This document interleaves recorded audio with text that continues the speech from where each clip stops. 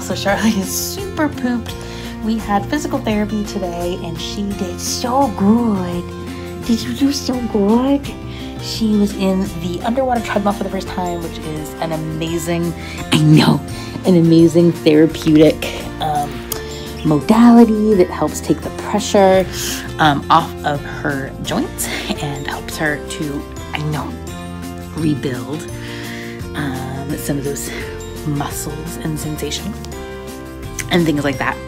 And she did a little bit of acupuncture and some um, laser therapy, and she got her Help 'Em Up harness fitted so that we can help her out a little bit and got a whole bunch of exercises done. She got to do some walking around on some um, different like obstacles to help her think about where her feet are going and she's doing really well. Like healing is not linear and it's slow and it's terrifying. I mean literally we went from walking multiple miles a day and a dog that loved to hike and swim and you know and you just poking at me. I know.